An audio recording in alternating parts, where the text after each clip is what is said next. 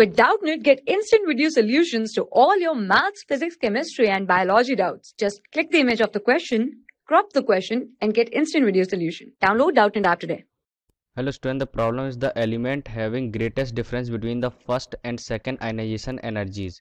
So these are the following elements. So first we consider the first group element over here and second group element and third group elements.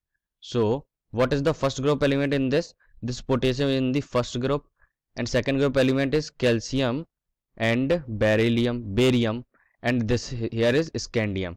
So these are the position of the elements. So this is the position of all the elements which is given in the problem.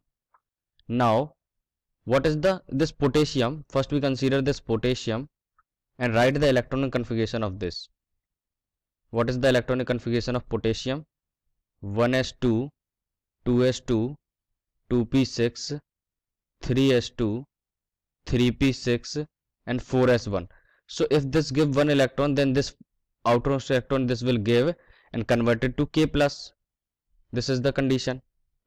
So after this is converted into k plus that means this k to k plus this potassium is changes to potassium plus. Here this is ionization energy 1 IE 1 now this converting again this converting into again this is converted into K2 plus.